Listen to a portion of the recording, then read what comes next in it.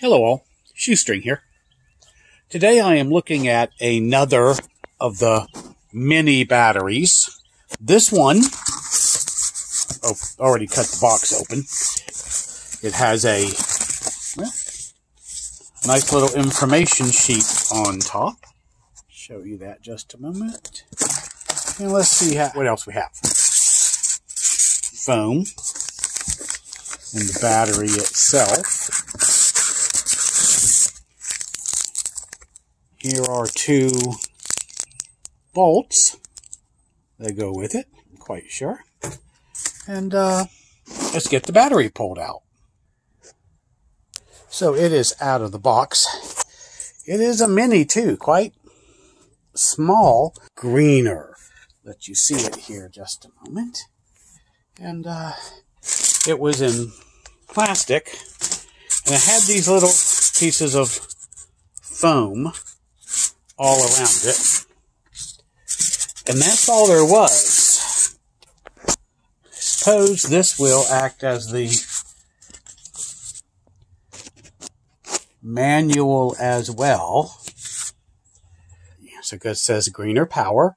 Like I said, it's a mini, but so far it seems fairly well constructed. So I am going to charge this thing up and then we're going to take it down and we're going to test it. While it's charging, let's go ahead and give you a quick look at its capabilities. Just so you'll know. And this way you can always come back to this if you're interested in this battery. And you can take a look and see if it's going to be right for you. Okay. And the other side simply tells you that you should wear gloves. And it only came at 30 to 50% capacity. I tested that when I took it out of the box, even though I probably should have showed you. The other paper that came with it was just questions and answers. Talks about five year warranty, then 10 years, it appears, of priority support. All right, so simple questions and answers. Okay, finish charging it up and do the test on the computer. Then we'll come out and test it for real. Okay, folks, we have finished our computer test on this battery and it has passed successfully.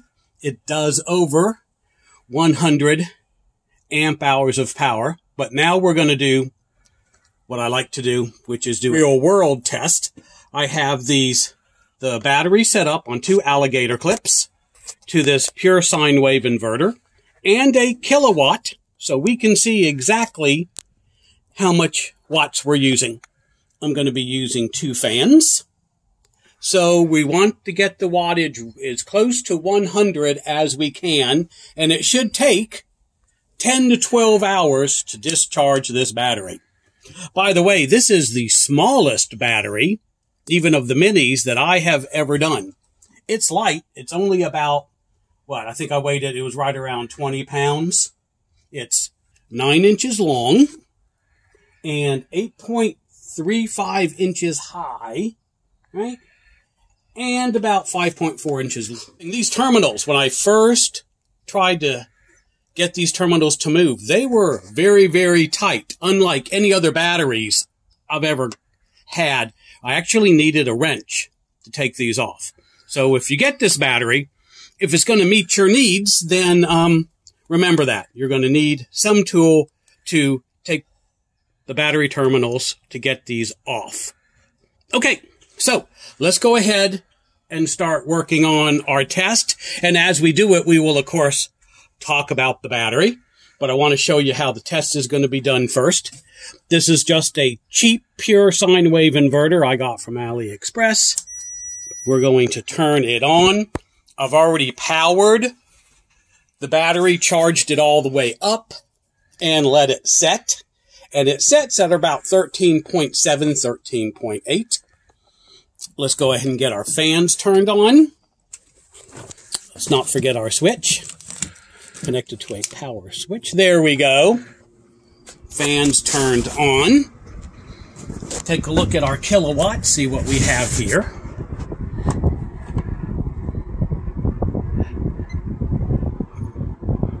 Sure we have the watts.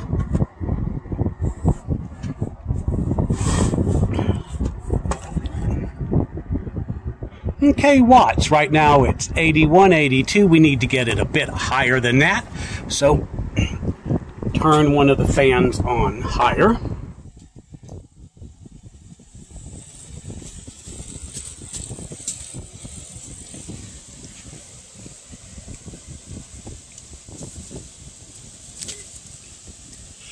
All right, so we're at nine, right around 95. As the test goes on, the fan, of course, the numbers will bounce right around, and we want it really close to 100 without going over. As you see, because we have a load on, the inverter dropped to 13.2. And these batteries, by the way, since we're talking about them, has all the normal protection from the BMS you would expect. Has overcharge protection, over discharge, over current, short circuit, and over temperature. I don't believe it has a low temperature. I couldn't find that. So at the moment, we're going to say no, it doesn't. It has what? I noticed it had a five year warranty, which is pretty good for a battery at this price point, and it will run 4,000 up to 4,000 cycles, which means you can charge it up and discharge it every day, 365 days a year, for 10 years before it start to lose its capability. And even then, it will only go down to about 80%. Okay, so, oh, by the way, you can also put four of these in parallel, and you can put four of these in series, which is pretty standard for lithium batteries. So we are now going to let it run its test. I'll come back in a few hours and we'll see how we're doing. See you then. Hello, folks. It has been, what, about six hours? Our timer says 5.51, so almost six hours since we started. It inverter says 12.8, which is good. Hopefully it will keep going. This is our halfway point fans are still running between 90 and 100. Let's check that. Watts. Yeah, right between 90 and 100. Great. It will fluctuate up and down. Battery still looking good. Okay, that's our halfway mark. I'll come back out in about 10 hours, or if it dies, and we'll see how we're doing. All right, we are back checking our Grener Power. I'm pretty sure how that's how you pronounce it. This should be our check for 10 hours, 96.4, and that's been fluctuating between 96 and 100. So let's check our Kill A Watt timer. And it says, yes, 10 hours and 8 minutes, and it is still running strong. Go back to our watts right? 96, 95. Like I said, it's going to move. And we're at 12.5. So this little battery, this little Grener battery, is doing an excellent job. We'll come back when it stops or at 12 hours and see precisely where we are. But this is our 10 hour check and it is still running strong with two fans and no problems so far. It has been over 12 hours.